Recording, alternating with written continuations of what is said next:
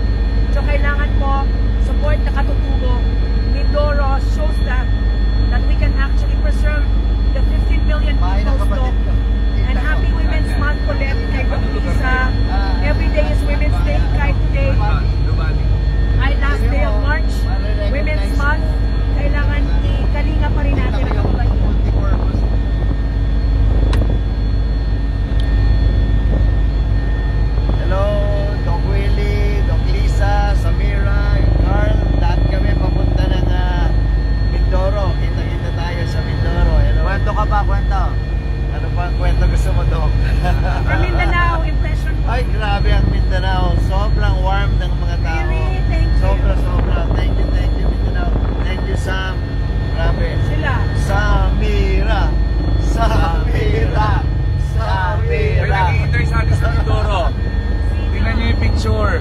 Naghihintay sa amin na isang rainbow. Napunan ni Dr. Yeah, Ali. ganda. Complete set of rainbow. Ganda ng rainbow. Oh, kwento mo yung nasa baba, Carl. Nasa, eh, nasa bandang ano tayo? Laguna. Laguna, Cavite, Laguna. That is uh, Taal Lake. Yan ah. That's Taal Lake. Ayan o, yun ba yung ano, umusok pa rin? Yan, volcano, umusok. Umusok pa rin. Ah, musok yung taal ah. Musok ang taal. Grabe ha. Ah, focus natin. Pati kasi kami doon na umag ano. Ayan oh. Umusok pa rin ang Taal Lake. Ang Taal Musok pa ang volcano. taal oh. Dumating kasi kami sa Batangas, guys, na nagtalo. Putok. Si Putok, narinig ang putok. San Nicolas. Grabe. Kung nasa San Nicolas tayo. Sa Nicolas that time. Sa San Tama, Nicolas. kwenta. Ah, Sa San Nicolas, nandun kami one morning. ah, yung first day na nagkaroon ng activity. Morning, 8, Ah, 7.30. 7.30. Ano feeling mo sa Mindoro? Carl, Rama. well, it's always um, nice to be home. Yan ako lumaki hanggang high school. Wow. Ah, tatlong bayan ang kinalakihan ko dyan, Nauhan, Puerto Galera, at saka Calapan. So talagang mangyang-mangyan ako. Ibig sabihin, embrace na embrace ko yung Mindoro culture. Ang masarap ang isda sa amin, maraming seafoods. At ah, sa amin lang, ay by the way, fruit basket yan. Masarap ang durian at ang iba pang prutas, lalo na lansones at ah, ano yun? Rambutan. Mayroon sa amin yan. Doon inaani. Doon yung doon. Yan. Ano naman, magkwenta? Oo. ang maganda natin ipakita kasi hindi nila nakikita from above yung taal. Baka pwede natin ipakita. Nakita ko naman yung taal. Ayun, nagdarasal oh. Oo. At uh, Pero mas maganda yung natin ang pa rin ang uh, Taal.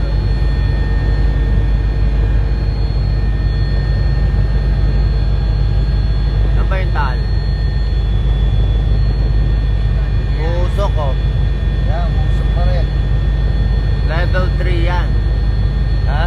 Level Alert 3. level 3. Kaya pala yung airplane kagabi, sabi ko bakit uh, Tumayo. ang layo ng ikot. Bakit daw? Eh, siguro, Umiiwas. umiiwas dito. Doon. Kaya housing daw Mga po. housing oh. Mga housing. Bibigyan mo ba ng bahay nila? Pabahay, tingnan mo naman kung gaano kaayos to. Gobyerno ba yan? Ito, ano ito, private yan. Sa itsura. Kasi pag gobyerno, Sa itsura. Dikit-dikit. Ito, malamang... Sira-sira eh. Ma- Hindi, dikit-dikit lang. Ito, malamang pag-ibig fund. ah. Pag-ibig housing. O kaya private ano, development. isa pa doon. Yan ang government siguro yan. Paano sila magkakabahay job season? Ay, kailangan manalo si Isko. Sa, sa pabahay ni Isko, makakapagbigay siya ng kasiguruhan based on your capacity to pay. Ano, babahay din oh. Yeah, housing. Ano rin yan, private. Ah, medyo tinan mo, medyo dikit-dikit na dok. Pero ano pa rin siya, sa itsura niya private development. Golf course. Daming golf course, Carl, no? Ah, Cavite, yes. No. Cavite, Laguna. Oh, nasa ulap tayo.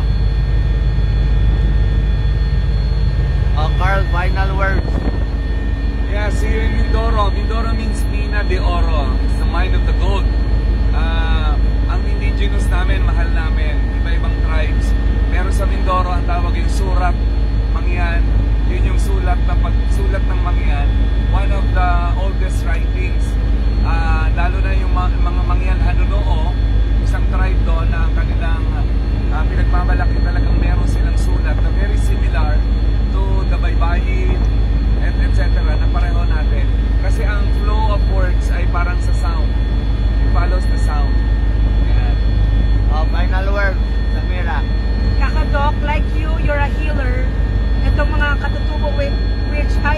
now